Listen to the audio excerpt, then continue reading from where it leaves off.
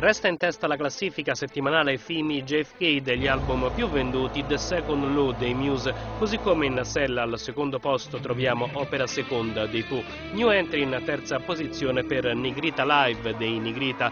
Nessuna novità invece per il quarto gradino del podio dove rimane saldo Tiziano Ferro con L'amore è una cosa semplice.